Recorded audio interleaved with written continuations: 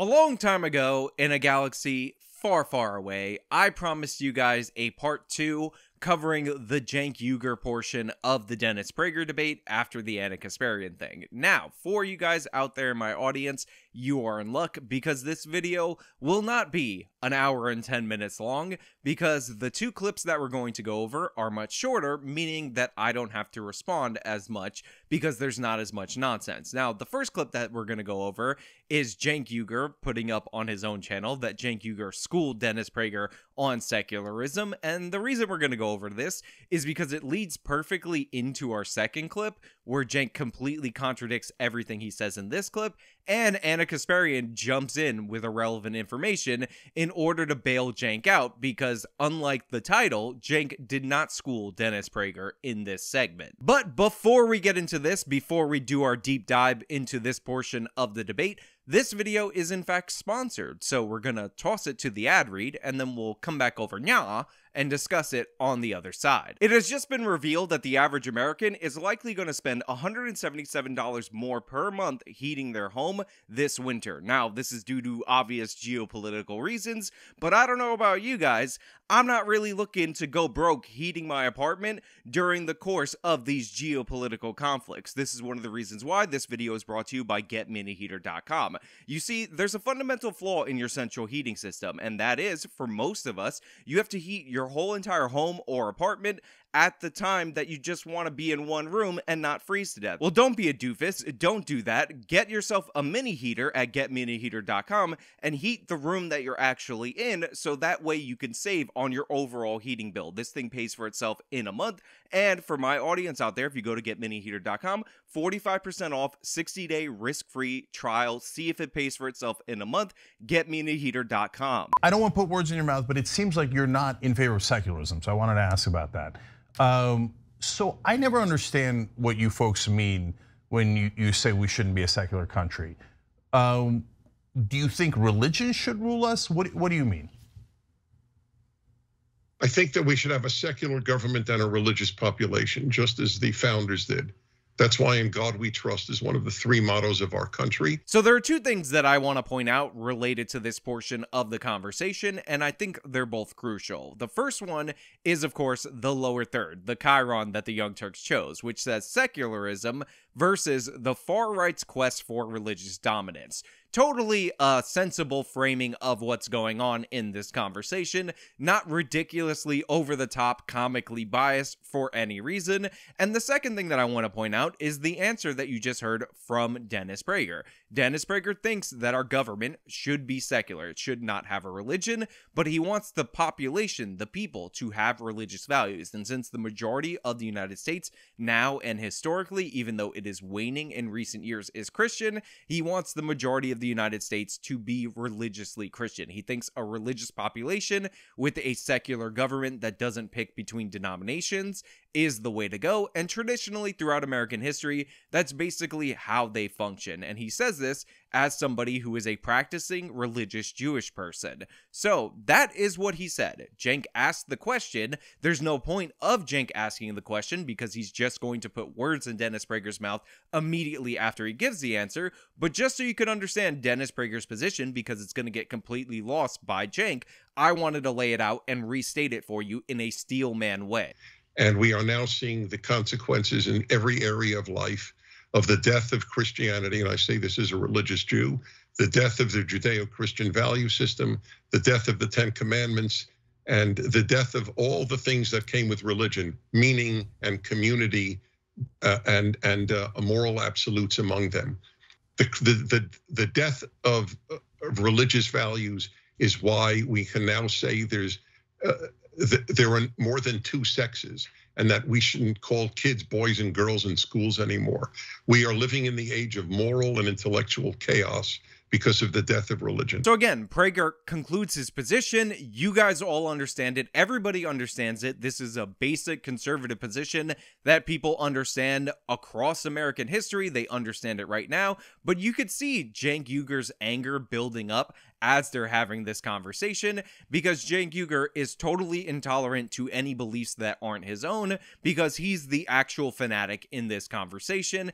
And obviously, we're going to go off the rails immediately, but I just wanted you guys to have that one minute of solace, that one minute moment where Cenk asks a question and then Dennis Prager gives an answer in good faith before we jump off the rails.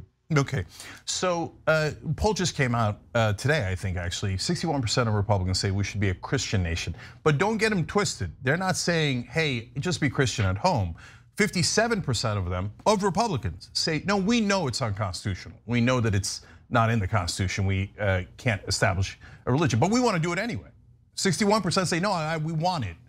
So that seems to be establishing a religion, Christianity. Uh, do you think 61% of Republicans are wrong? So Cenk brings up these poll results, and they actually come from Politico, and I want to bring them up for you guys to hear them so you can understand what's actually being asked because I think it's crucial. So if we go to the Politico article, and by the way, these have the same percentages, we can break down what's actually going on with this poll. So the first question asked is if these participants believe the Constitution would even allow the United States government to declare the US a quote unquote Christian nation.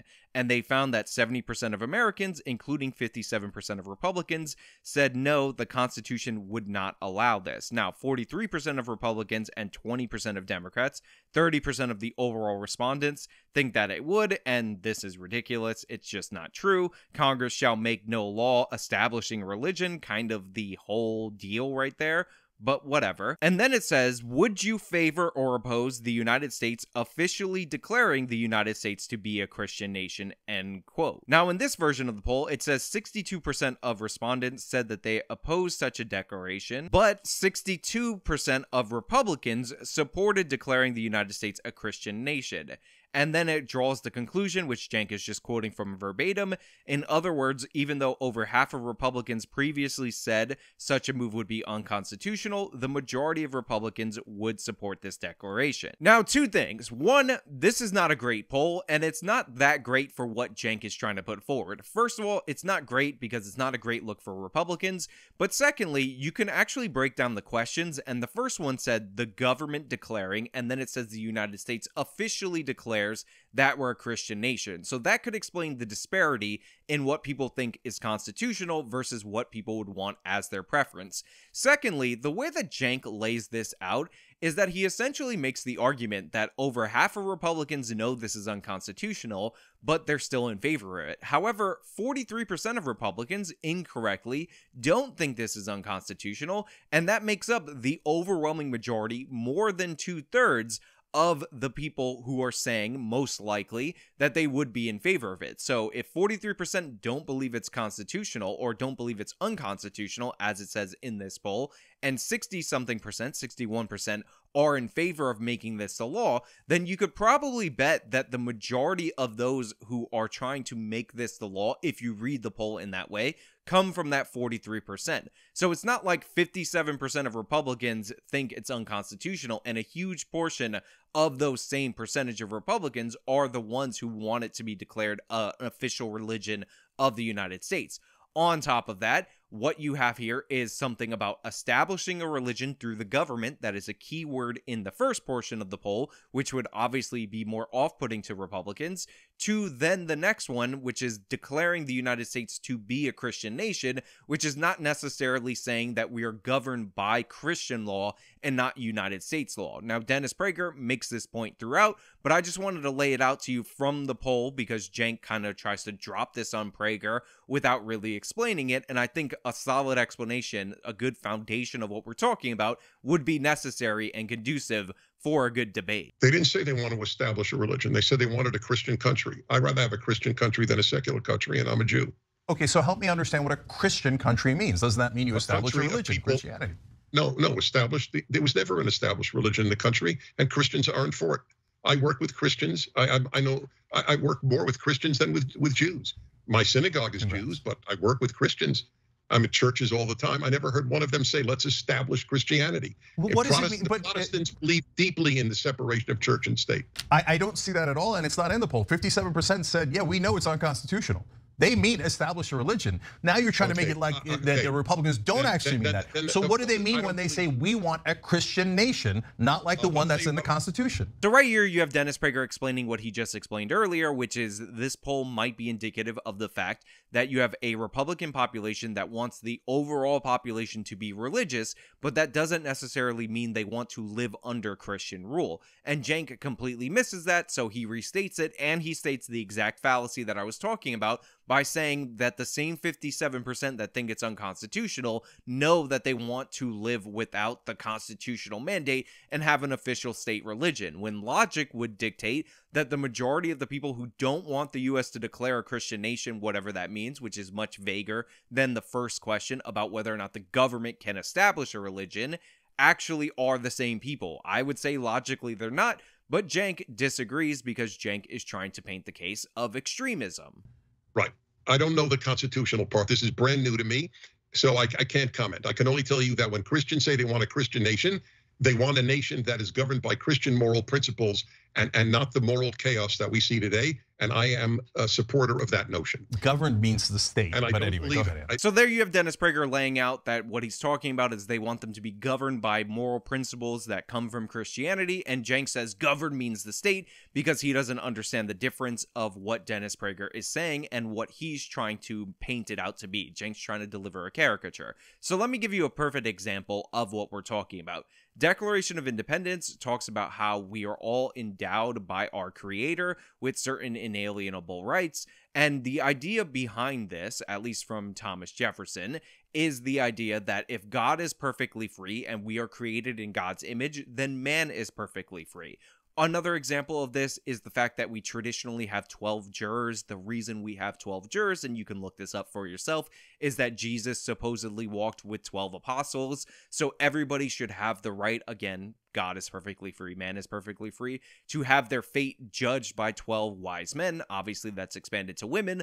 But again, these are things that are carryovers from the Christian ethic that are not necessarily religious imbuement into our government for those of you who don't understand. We also have the basic principle of self defense the idea that if somebody aggresses upon you, this comes from the Christian just war theory, then you can defend yourself against that aggression, and a bunch of other things that you can tie to Christianity as a philosophy but don't necessarily mean that you have to be Catholic in the United States of America, or you have to be Protestant in the United States of America, or we're going to have the Church of England as the official church in the United States of America, which, by the way, is actually a kind of interesting thing because the Church of England is still technically the Church of the United Kingdom, but they're far less religious than the United States of America. This is one of the reasons why many religious people don't mind the secular government because it's actually allowed the people of the United States of America to flourish religiously in a way that the old world, Europe, seems to have forgotten. So, yeah, that's the explanation of it. I know it might get a little convoluted and you might have learned a little something about where certain things in our government actually come from, but that's the basic premise of what we're talking about. So sorry, I don't believe I don't believe in Christ just for the record. I am not a Christian and they they are not forcing and they never did force anybody to believe in Christ. Even when they were really in power they never forced one American to accept Christ. That's a pretty damn good record. That's because it's not constitutional. You're making it seem like they had the option. So then Dennis Prager makes a much more salient point, and Cenk, it completely goes over his head because he's an utter buffoon. In the United States of America, we've had way higher rates of religious participation. A huge portion of the population was not only religious, but they were overwhelmingly Christian, and it wasn't forced by law upon other people to practice those religious beliefs. That's the point that he was making. And Cenk says that's because it's unconstitutional, but in reality, a lot of the separations of church and state, the decisions that say you can't have, you know, prayer in school and all that are relatively recent. They're products of the modern era, but overall, they just did not have this compulsion towards religiousness, even though we had a significantly more religious population. So, Cenk, they could have easily changed the Constitution if they were so inclined, when 90 to 95% of the country was specifically some form of Christian. They didn't do that, which is a solid record, which is the point that Dennis Prager wants to make. Now, there were more religious influences on the law in the past. Prayer in school is an example of that. That's why I brought it up. But again, this really started to change once we stopped localizing education and we started bringing it up to the federal level because originally these constitutional protections were only really applicable to the federal government. That's why the First Amendment says Congress shall make no law, and the 14th Amendment incorporation cases and that whole realm of law really came post Civil War. But, you know, whatever. Why even focus on the history? Let's just babble incoherently and get angry and have Cenk make dumb points. Why even go into the constitutional history of the United States of America and American jurisprudence? So I want to ask. Well, wait a minute. Uh, okay, wait, go ahead. You just said if they have power, you're afraid, correct? Well, first of all, Isn't no, I didn't say that. But you're I, saying? No, I didn't say that. But but then I can't Dennis, but Dennis, yeah, I'm worried that your oh, dear leader Donald Trump doesn't believe in democracy. He's gonna. Uh, he said he, he had a system to put in fake electors. Now you got 61% of Republicans say, screw it, let's just be a Christian nation. Let's just stop basically be run by a Christian mullah. Okay, and so do you think Trump wouldn't say uh, I'm that mullah and we're not having democracy? He'd do that in a second. Okay. You think that he cares about the rest of us? A lifelong con man who only cares about his own power and wealth. If you can't see that, Dennis, you're being purposely blind. So here you have Cenk Uygur babbling uncontrollably and being totally nonsensical and talking about Donald Trump, but not only Donald Trump as a dictator, which is a bit of a stretch in my opinion, but Donald Trump as a Christian mullah. Donald J. Trump, the 45th president of the United States of America, is somehow going to declare himself, according to Cenk Uygur, and this is something that Trump would reasonably do, a Christian mullah. Now, I know Donald Trump says he's a Christian. I know Donald Trump says he's religious and all of that. But Donald Trump also has a record of cheating on every wife that he had, hooking up with porn stars, and one of my favorite moments of the Republican primary campaign with Donald Trump is the fact that he brought out a Bible that his mom gave to him, but during him telling the story of this Bible, he talked about basically getting it out of storage because obviously he wasn't reading the Bible. If you don't believe that Donald Trump is probably the least religious Republican president, maybe the least religious president we've ever had, maybe there's some that are just not really that religious, that are actually secret atheists or whatever, but publicly, the least religious president that we've ever had, then you're not paying attention.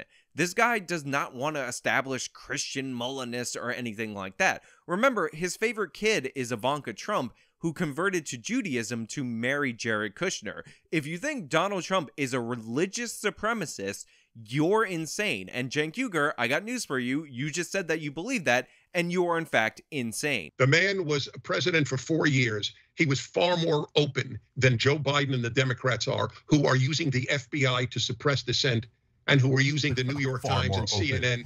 This is the least free America has been in its history Dennis. in terms of free speech and freedom of dissent. And it's because of the Democrats and the left. So Dennis makes the point that the Democrats in power right now are far more intolerant to dissent, are far more authoritarian than the Donald Trump administration ever was. And this is just provably true. Look at what's going on in social media companies. And by the way, this isn't something that I'm just alleging. This isn't something that I'm just asserting. We have official statements from the White House about how these social media companies need to crack down on quote unquote misinformation. We had that lawsuit where the doctor sued Twitter based on a breach of contract, and he discovered through the discovery process that Twitter was actually specifically asked to ban him from the platform based on recommendations from people within the Biden White House. So, yes, this is exactly what they're doing. On top of that, you have the FBI investigating or putting out letters to investigate parents that show up to school boards who are unhappy about what's being taught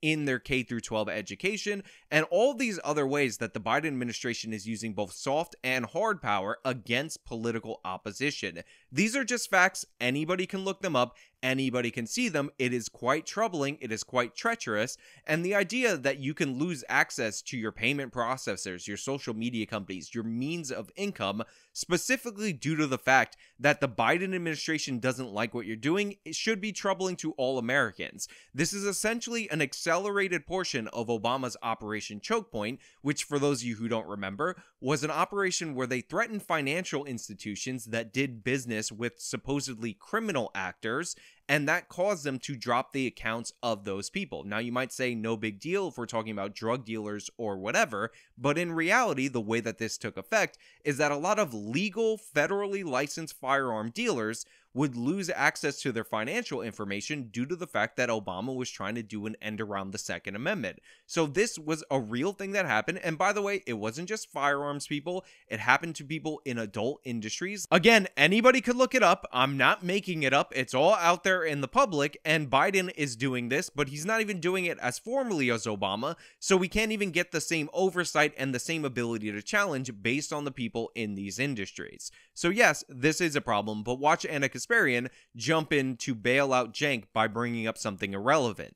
Trump if Obama office, had taken classified documents from the White House home with him, and if the federal government with the DOJ gave him multiple chances, multiple opportunities to just return the classified top secret documents, and he didn't do it, and that led to a raid, would you be on the show right now providing cover for Obama? I'm, I'm genuinely curious. I want you to give me an answer. If it were part of a systemic use by a Republican government of suppression of Democrats, I would damn well be on this program saying he that. He had every opportunity to just return the Trump. documents, and he refused to do it. So Ana asks her question, and she's like, "Oh, multiple opportunities and all of that."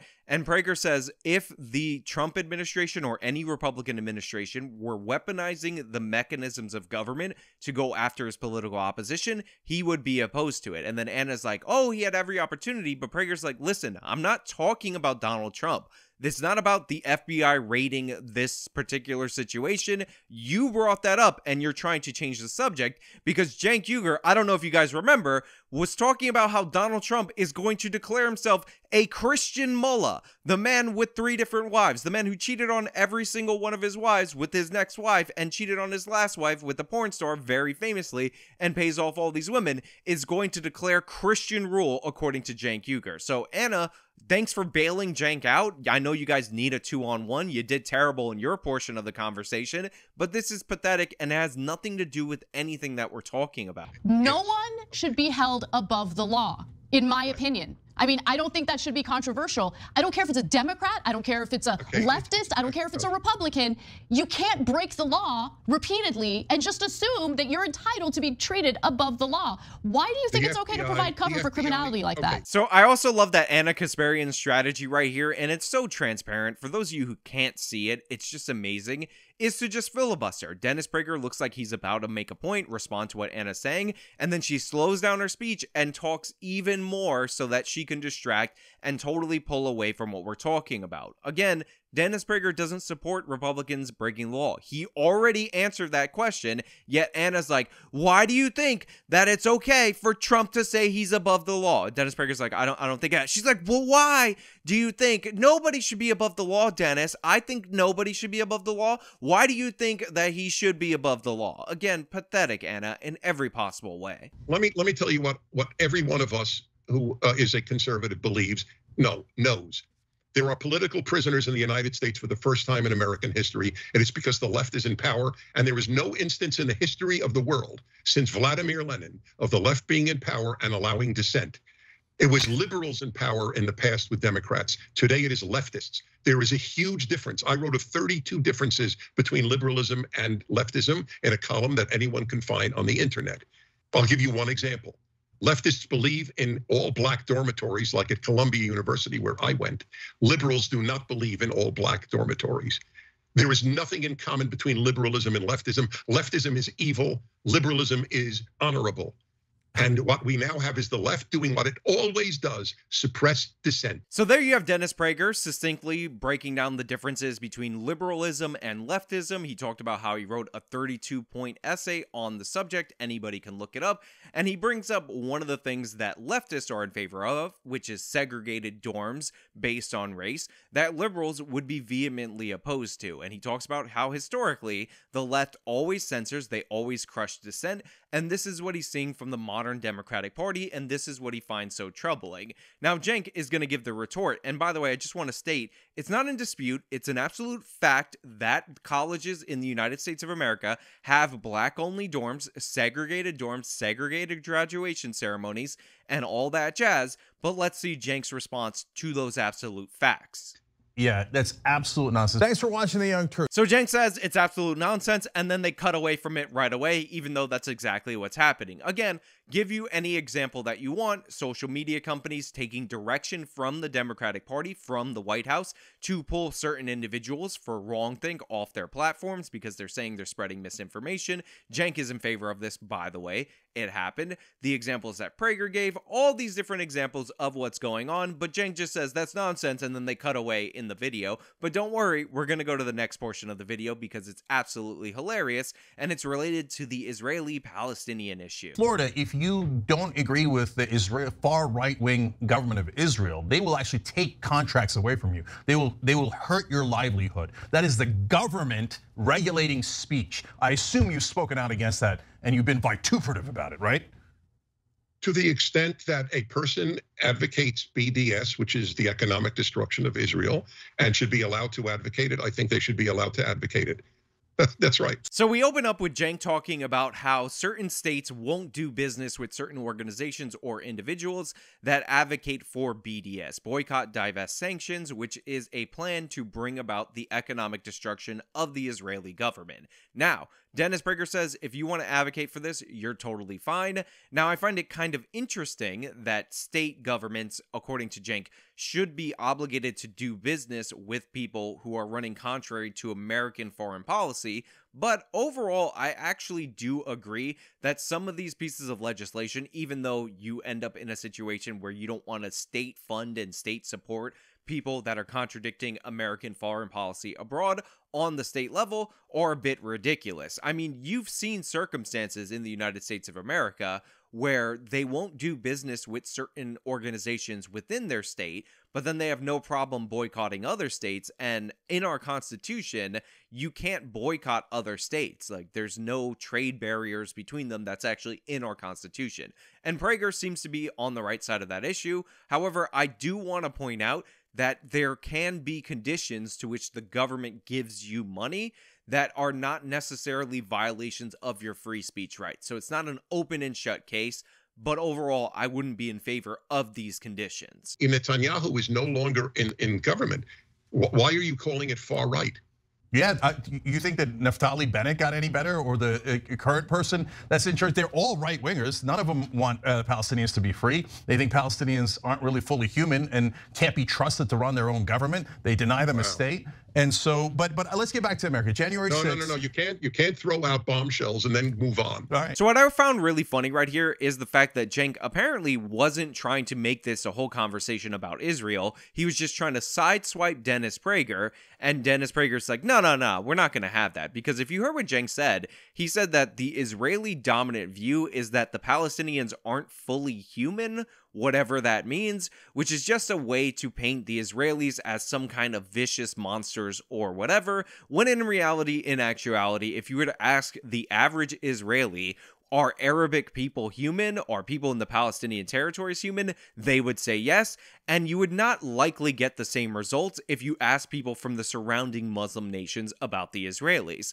It is clear who has a more bigoted view of who in this issue because the only reason these people hate the fact that the Jewish state exists in the Middle East is because it is a Jewish state in the Middle East. Let's make that 100% clear. You you think that the Israeli government or the average Israeli who voted for this government thinks that Palestinians are not fully human? Absolutely. Then why don't you let that? them go? Why can't they have their own state? because it'll be run by Hamas. Are you foolish? So then Jake's like, why don't you let them go? Why don't you let them go? Notice how, by the way, it's becoming a you thing.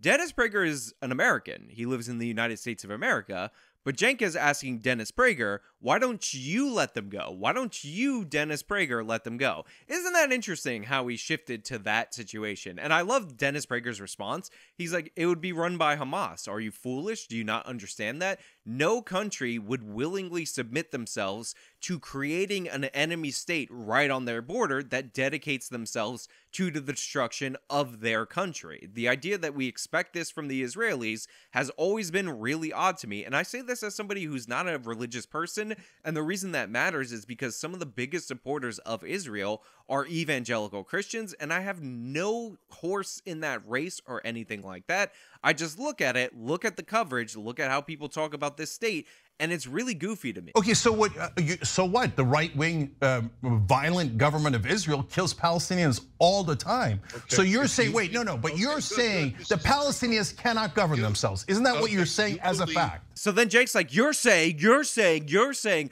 let me tell you what you're saying, Dennis. And I don't know why you gotta let them go. It's it's very, very odd, again, choice of language. But he's saying, You're saying that they can't govern themselves because I'm trying to make the case that you don't think the Palestinians are human, which again is absurd. You can be human. In fact, you are human and still make horrible choices and make reasons why I, as somebody living in a country that would be opposed to the nation that you're trying to build, would likely not want you to have a foothold. It's kind of absurd. It's like saying that if you don't want a democratic city to continuously be run by Democrats, then you think the people in those cities are somehow subhuman. It's absurd. It's a ridiculous argument, but Cenk brings it forward. You believe that there is moral equivalence between Israel and Hamas.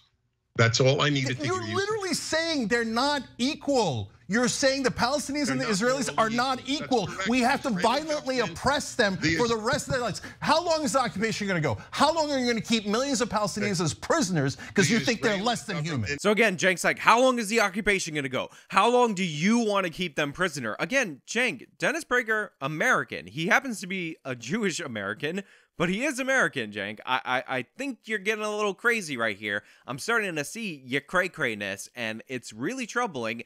And again, it just goes to show you how Cenk sees this issue, which is an issue of identity. Cenk used to be a Muslim, he's no longer religious, so he's on Team Islam in this case. And it's totally running contrary to what he was saying earlier, which we're going to get into a little bit later. Okay. Israel doesn't want to commit suicide because you sitting in America have it good. Okay? Okay, if so you're saying never, right? You're oh, you're going to imprison Palestinians no, no, for the no, rest of time. Is that correct? When the Palestinian when the Palestinians disavow terror and stop trying to destroy Israel and don't announce that they want to destroy Israel, Dennis, there will be peace. Dennis, uh, they have done that in the past. You said not good enough. But the current state of affairs is the absurdity of the Israelis saying, we will not allow you to have a state because you theoretically say that we cannot have a state when we already have one.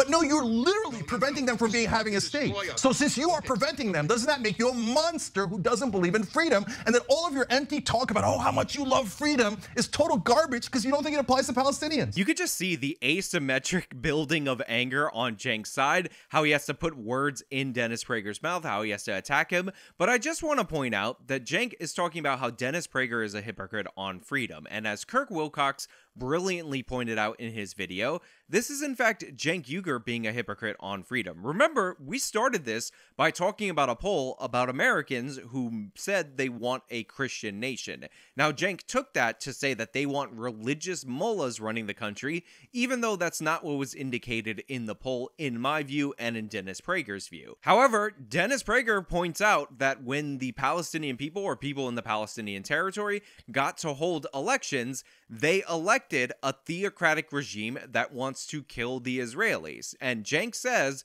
that's freedom in that case, because according to Cenk, you have the freedom to install a religious rule. By the way, they had only one election. Weird how that works. Only if that religious rule is not Christian and apparently not Jewish, even though Israel is largely a secular country, it's made for religious and non religious Jews. So, Cenk, you're being the hypocrite right here. You have a weird way of thinking. Great well, answer. Go ahead. Go ahead. Why can't the Palestinians have the same freedom that every other human being okay. has? If you allow me to speak, I'll tell you why it's weird. You believe there is a moral equivalence between Israel and Hamas. That is morally sick. And I love the fact that Dennis Prager is just mocking Cenk by pointing out that he's trying to make a moral equivalence between Hamas specifically and the Israeli government. And Cenk is getting mad, and then Dennis says, You're sick. And by the way, you notice that Ana has to chime in because she's still there because Cenk needs backup, as Cenk is going into full meltdown mode. That is morally sick. You are sick. Look, I'm going to play the rest of Cenk's little spiel, but is it not ridiculous that Cenk, like a five year old, gets told that he's sick for a specific reason, and Cenk's response is to yell louder that Dennis Prager is sick, but he's really like emphasizing it, so that way he could be like, I know you are, but what am I? Even though Cenk is clearly the hypocrite in this instance right here. But let's watch Cenk get really angry because it's hilarious and we gotta see it. That is morally sick. You are sick for not allowing Palestinians, millions of them, to be free. You don't believe in freedom, Dennis. You believe in oppression as long as it's on your side. Why can't they be free? Why can't Palestinians be free? Because they will choose a government you don't agree with? That is the definition of oppression. Again, notice what Cenk is doing. He says Dennis Prager doesn't believe in freedom. Republicans don't believe in freedom because of a poll related to a Christian country, even though that doesn't necessarily mean run by the government. But now he's saying that Dennis Prager, you're just saying the Palestinians would choose a government that you don't like, even though the actual government that they chose in that context was a religious theocratic terrorist government. So, Cenk, where do you stand on whether or not you can have theocratic rule? Where do you stand on whether or not you could have the mullahs running the country? Because it seems like you're perfectly okay for it as long as it's not in the United States of America, as long as it's not in any Western country, as long as they're not Christian, having religious rule. You just support them and you bring it down to a cultural difference. And notice how Cenk is trying to frame it in terms of oppressor oppressed. You're in favor of the oppressor, Dennis, because that's how Cenk views it. He thinks the Israelis have more power because the Israelis are a better run country and their military's more sophisticated. Therefore, they're in the wrong, which is an absurd notion. And Dennis will explain it, and I'll explain it too, just so you guys know. Okay, there you go. Okay, the people heard my position. They heard your, yours. Your position is just to be clear: the Palestinians cannot be free. Hamas, they're not. They are not. They are not equipped to handle freedom. Is that your position? At this point, they would elect Hamas. When Israel left, when Israel did what you want and left the uh, uh, left Gaza, it ended up being run okay. by the terror organization called Hamas. So they would Is elect someone you don't agree with, and hence no, they no, are they not allowed to have freedom. Yes, what a big advocate of freedom of speech you are, Dennis. Wow, a shining advocate for freedom who says if you don't elect who I want, you will never be free and you'll be under our thumb and under occupation. You will never have your own country. That's literally what you're saying, Dennis. Cenk, you could spout off a bunch of nonsense and then say, that's literally what you're saying, Dennis, but it doesn't make it so. Notice how Cenk can never debate anybody in good faith. Cenk can never have an argument with somebody without trying to restate their position in the most strawmanny, nasty way humanly possible. This is what he does, and he labels this political analysis. It's absolutely absurd, it's absolutely insane, and again, credit where credit is due to Kirk Wilcox for pointing out the utter and stunning, unblemished hypocrisy in Cenk claiming that the Palestinians electing religious terrorist leaders is somehow really okay and it's just freedom. But in the United States of America, people saying that they want the population to be Christian is somehow authoritarian, is going to lead to Mullah Trump. No, it's not at all what I'm saying. You're saying, saying if you elect people I don't want, Hamas in this case, saying, you're never allowed to be free. So who do you want him to elect? Dennis Prager as the head of the Palestinian uh, government? Is that what you want? Then you allow them freedom? Would you even do that? You would never allow them. Why can't Palestinians be treated in the same exact way as every other human being? Let me know when I can speak. Again, I love this response. I love the tone of voice from Dennis Prager because it really emphasizes how unhinged Cenk Uygur is. He's just screaming. He asks a question, Dennis gets ready to answer, and then Cenk screams something else, another straw man of his position. So Dennis is like, just let me know when I can speak. Let me know when you're done with your stupid rant, and I'll take you to school on this issue. And he does. Have we reached the point that I can speak? Yeah, I will no. say the same thing again. Israel does not want to commit suicide by having Hamas and having Iran and having Hezbollah type people run the West Bank like they run uh, Gaza. That is type it. People. Uh, I I people. have always been for two states. Most Israelis were for two states. There is almost no one left in Israel who agrees with you, including the Israeli left. You live in a make-believe world. Why are they? Hamas Dennis, why are they the type of people who can't govern themselves? What does that mean? So if you notice, Cenk got exactly what he was looking for, which is something that he could build a straw man off of because he can't argue the issue. You can hear him saying type of people, type of people while Dennis Prager is talking, but if you listen to what Dennis Prager said, he said that they don't want Iranian regime type of people or Hezbollah type of people in this other portion because no state would want an enemy state right on their border, especially if they could help it. But Cenk is turning this into why are they the type of people, as in making this about the human, not human situation, which is never brought up. It's not the case. He just made that up because he can't win this argument that can't govern themselves. What do you mean that they're the type of people yes, who can't govern elect, themselves? They would elect vicious terrorists to kill Israelis. That's whom they would elect, and Israel why? is not for it. Why would That's they be correct. different than all other human beings? Why? Why would they're they not be different from all other human beings? Iran has that. But too. you said that they cannot govern themselves and they will elect vicious terrorists. That's right. Unfortunately, because the, the worst of them are dominant, just like any. So Dennis points out that the worst among them, the most radical, if you want to make that argument, are the ones that are dominant. And again, this is proven out by the fact that they did elect Hamas. Like that did happen. This isn't even a theoretical situation. The Israelis did try the thing that Cenk wants to try. They had an election, and guess who won? The most radical. And one of the unfortunate things about the Palestinian territories, because there's good people in them by far, is the fact that when more moderate voices come to the forefront, they get killed. So they can't advance as a people because they're killing off that opposition. So, yes, the worst among them run the country and they rule with an iron fist. These are authoritarian areas. It's not a mark against all of the people, although the majority of the people, or at least a plurality, elected these people as their representatives. Just like Netanyahu and all the thousands that he murdered. Okay. Okay. What? What? He murdered? Yeah. You, you do a war and you have a kill ratio of a thousand, sometimes a hundred to one, sometimes even more, and that kills thousands of Palestinians and go, oh golly gee, did I kill all of them? It was an accident. When the terrorists, Arabs who can't govern themselves, who are vicious terrorists, they do it, that is terrorism. When the state of Israel does it, it is not terrorism. And we killed a hundred times more, but it is not terrorism. We bomb in the middle of a crowded city and murder their civilians, but that is not terrorism because the state does it and people Dennis Prager likes does it, but the Arabs and the Palestinians Palestinians are vicious terrorists by nature and can never govern themselves. Boy, advocate for freedom, Dennis. You're doing great. Some, somebody should add up the amount of time I got to speak and you got to speak on this segment here.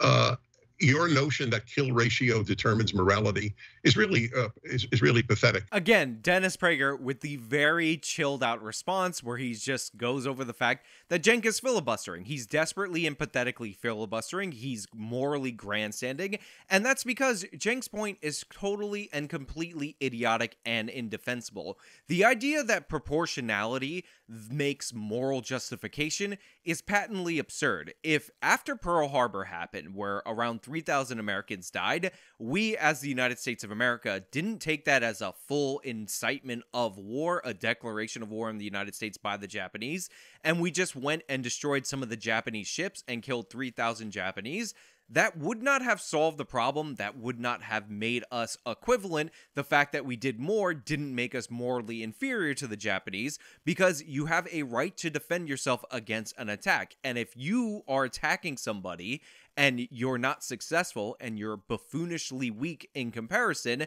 then maybe you should stop attacking that person. If 10 people try to break into your house and you had your firearm with you, but they managed to kill one of your relatives before you blew all 10 of those people away with your defensive firearm, that wouldn't make you the immoral one in that situation just because your kill ratio is 10 to 1. The people who aggressed upon you got what they deserved in that scenario, and the death that you suffered, the loss that you suffered, is in no way morally equivalent to the losses that they suffered because they were the aggressors in that scenario. You have a right to defend your territory, you have a right to defend your family members, you have a right to defend your existence, and you have a right to defend your country. And if people continuously aggress on any of those things, you have a right to stop them with the force necessary to do so.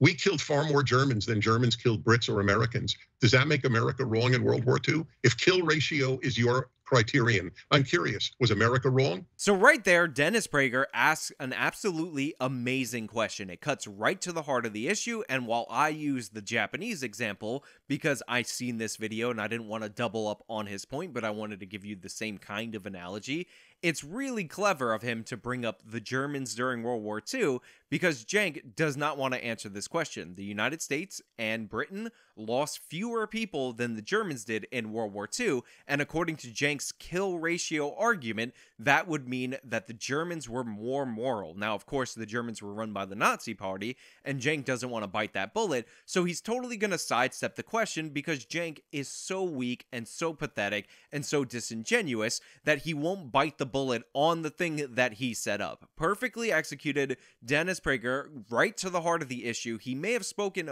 far less, but each of his words are more valuable than Cenk's, and this is proof positive of that notion. No, Dennis, it depends on disproportionate power. You know who had disproportionate power? The Germans over the Jews. They had disproportionate power, and the state did it. The state of Germany did that to the Jewish population, to the Polish population, to all of those different people. But you would say, no, when the state does it, it's no big deal. State does it. It's no big deal. That's not terrorism. Only with civilians. Well, could Jews have fought back against Hitler and done it with great violence and tried to bomb him and kill him? Could they have done that? Would that have been morally uh, conscious thing to do?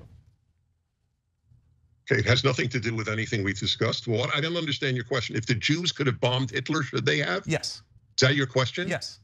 Yes, they should have. So Cenk thinks that he found a good way to bail him out of this situation by saying, "Oh, could the Jews have fought back against Adolf Hitler?" And Dennis Prager says, "Yes, because Dennis Prager isn't putting himself in a position where he has to bite a bunch of uncomfortable bullets." However, Cenk is about to twist himself into a knot because now that Prager has said, "Yes, you can fight back if you're Jewish during World War II against Adolf Hitler," Cenk doesn't realize that he is now framing the Israelis as the Nazis. So if you're, so you're being oppressed, you if you're being oppressed, if you're being oppressed, you get to bomb the people oppressing you. Comparing are you comparing Israel to Hitler? I won't even argue with you. I just no, want no, no. I'm asking you a simple question. I'm not drawing a comparison. I'm just asking you a simple question. If you're being oppressed, as the Jews were in Germany, are you allowed to bomb and kill your oppressors? To Hitler. I won't argue with you. I want it yes or no. Are you comparing Israel to Hitler? So make no mistake, Cenk is making that comparison, and he's also justifying terrorism. He's saying it is okay for the Palestinians to bomb the Israelis, and they target civilians in these bombings. They're not fighting army versus army or anything like that. They're not even just sneak attacking the Israeli soldiers, they're attacking civilians in the nation of Israel. And Dennis Prager's like, I don't even care about your question. Is this what you're doing? Say it. And it reminds me of Daemon Targaryen in that episode of House of the Dragon, which is absolutely wonderful. No, I'm asking the state power count. So you're not, there's no. No, I'm asking the state power count as terrorism. I think it does count. I think when the Germans killed all those people, that was terrorism. I think when America and Israel and Russia invade other countries and kill civilians, that's also terrorism. Doesn't that make logical sense? No, not at all. Israel defends itself. End of issue. So you can actually see the desperation in Cenk's eyes, and the reason why you can see this desperation is because Cenk actually does believe the Israelis are the moral equivalent to the Nazis. And Cenk sees the Nazis as subhuman that need to be killed, which gives you an idea of why he's excusing the bombings and the terrorism from the Palestinian people. What a surprise! Cenk is projecting the lack of humanity he feels about the Israeli population onto Dennis Prager. And for those of you who have bought into the propaganda that somehow the Israelis are the moral equivalent to the Nazis because they're oppressing the Palestinians, let me explain to you how stupid that is. The Nazis wanted to eradicate the Jewish people, which, by the way, a bunch of these Palestinian leaders, especially Hamas, pledged to do. It's what Iran pledges to do, but whatever, we'll set that aside. We're talking about the Israelis.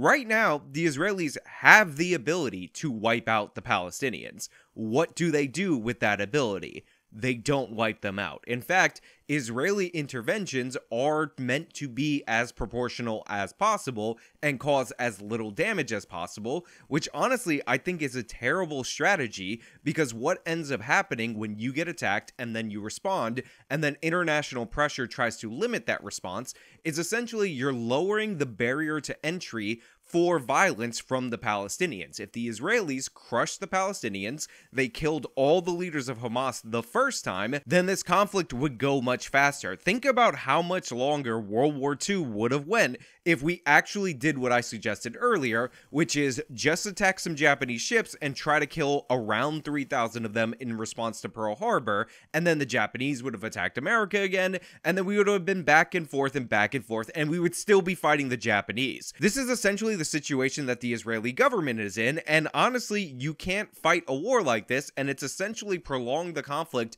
to such a point where people have started to lose sight of who's the aggressor and who isn't. That's literally what the Germans said. We must defend the homeland. Okay, so you are comparing the Germans okay, and Israel. I'm comparing state power to state power. You're right, saying well, no, individuals it's are terrorists, Arabs are terrorists, but the Israelis are never terrorists, and the state is never terrorist. This, this is mind-boggling. It's worth it. I'll play it on my show. You'll get a lot of publicity. All right, fantastic. Cenk, just bite the bullet. Stop being such a coward. Stop being so weak. Stop being so embarrassing. Dennis Prager is pointing out that you're comparing the Nazi government to the Israeli government. You don't want to say that you're doing that. So you're like, oh no, I'm talking about state power and blah blah blah. But I, I try to use this specific example. Just say that you're comparing it. It's it's okay, Cenk. You could say it's an analogy. Like one of the things that I hate whenever you make an analogy is when people say those two things in the analogy are different, as if that's not the point of the analogy. You can get out of this, Cenk, or you could bite the bullet and say what you actually feel, but you're too cowardly to do so. And Dennis Prager's like, no, it's fine. I, I I like this conversation. I'm gonna play it on my radio show. It's super amusing. And Cenk's like, oh, let me let me change the subject and get a load of what Cenk changes the subject to. Okay, so Dennis Prager, who does not believe in freedom just for Palestinians. Everybody else enjoy. Maybe you live under a Christian nation, and maybe that means governing you, but maybe it doesn't. Maybe it's optional. Okay, we'll see. Except they say govern. Except you know that every Republican says, I don't believe in a separation of church and state. I've seen it a thousand times. You're being totally disingenuous if you don't say that. You know that that's what they say, and that would be a religious oppression of the rest of us. We're not interested in the religious oppression. We're not interested in oppressing women and saying, hey, you have to serve us in the home. We're not interested in any of that oppression. When, Ironically, when, Dennis, what when, we want on the left is freedom, and for all of you right wingers to get out of our damn lives. Yes. So I was pointing out the hypocrisy of what Cenk was saying the whole time, and then he just brings it up in stark contrast to what he was just saying. Remember, Palestinians electing Islamic terrorists that rule the Palestinian territory through Islamic law freedom. That's freedom for the Palestinians. That's freedom. And if you don't like it, you think they're not human and you think they shouldn't elect a government because for some reason you think they're subhuman. But then Cenk has the audacity to say that Christians who say that they want a Christian nation or Republicans who say that they want a Christian nation, which doesn't necessarily mean governed quite literally by biblical law, it just means the moral principles in the population with the secular government, as Dennis Prager is advocating for. You know, the person that Cenk is talking to, those people want to oppress women, oppress minorities, but again, repress religious minorities, but specifically make sure the women know their role in the home. He's advocating for a traditional Islamist religious government and then talking about how Americans are too much trying to put women back in their home. Think about that. And you have Ana Kasparian being the cheerleader as Cenk needs that support because he's 100% losing this exchange, saying, Yeah, that's right. The left wants freedom, the freedom to control every aspect of your life in every possible way, censor your speech, cut off your payment processors. That's totally freedom. Shut up, Ana. Shut up, Cenk. You're embarrassing. Let's get to Dennis Prager's response. So I understand how you operate. You, you have these long monologues, you go from subject to subject and we can't analyze any one of them. I asked you when Christians were in power in this country, did they ever force Christianity upon anyone? So what do you, I don't know what you're talking about when you say they don't believe in separation of church but and that's state. That's why I love America. Where, that's why. But Dennis, you have a United States Congresswoman, Lauren Boebert, giving incessant speeches about how the Constitution doesn't say there's a separation of church and state, completely rewriting the Constitution and spreading this ideology that this should be a Christian nation. That is wrong. If you genuinely believe in freedom, as I do, as Cenk does, as most normal people who love America do, you should not force your religious doctrine on others.